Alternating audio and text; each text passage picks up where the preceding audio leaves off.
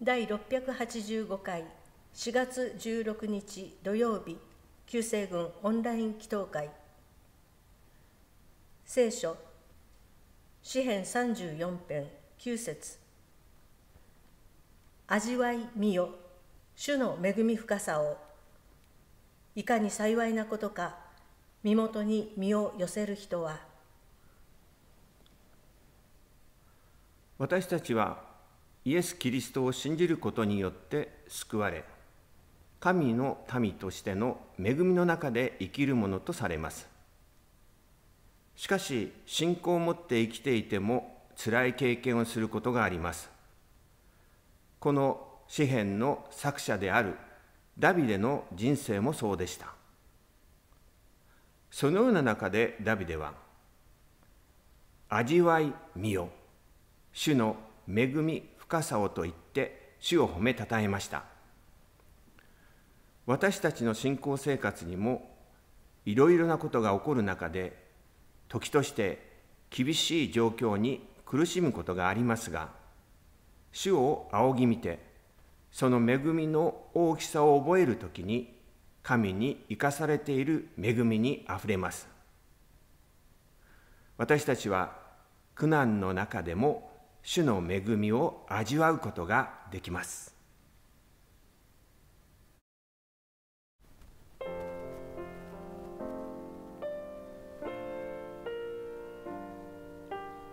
共に祈りましょう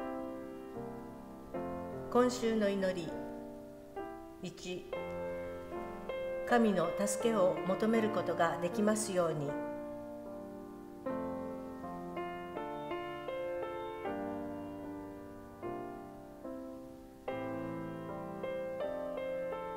2コロナが完全に収束しますように。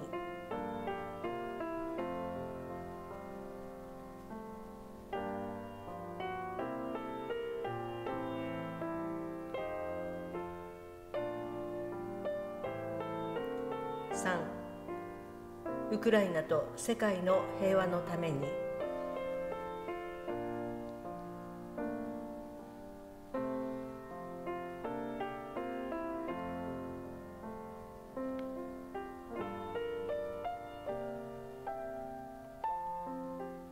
あふれる恵みを注いでくださる神様。今日もあなたの恵みを味わい知ることができることを感謝をいたします。